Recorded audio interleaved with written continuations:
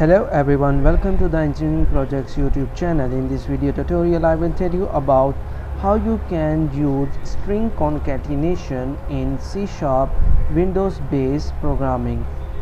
So take a button, drag and drop here, double click to activate the event handler.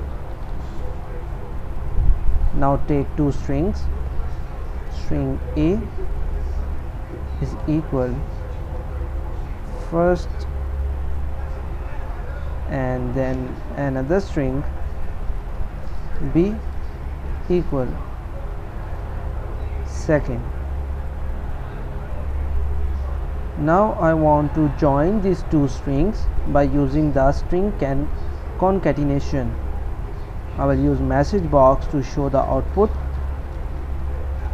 Show in parentheses use string dot concat parenthesis string a comma string b. Now execute the program.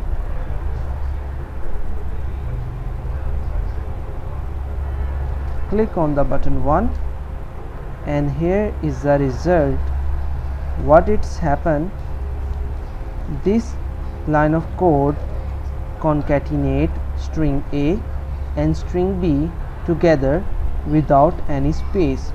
So if you want to use space between them you have to enter a space in the quotation like this.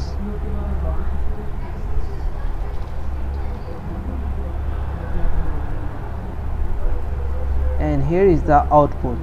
So in this video tutorial we have learned how we can use concatenate with two strings. Take care